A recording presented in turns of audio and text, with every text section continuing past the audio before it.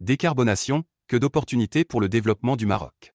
La décarbonation de l'industrie marocaine profitera aux acteurs économiques, notamment en termes économiques et environnementaux, a déclaré mercredi à Rabat, directeur des infrastructures au ministère de l'Industrie et du Commerce, Hicham Guedira.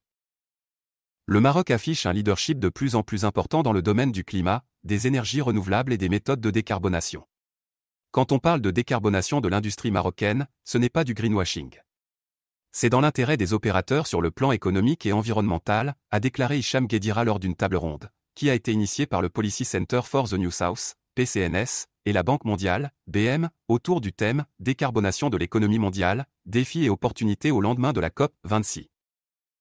De son côté, le directeur du changement climatique, de la biodiversité et de l'économie verte au ministère de la Transition énergétique et du développement durable, Bouzakri Razi, a souligné la ferme volonté politique du Maroc de s'engager dans la lutte mondiale contre le changement climatique, notamment à travers la signature de l'accord de Paris sur le climat.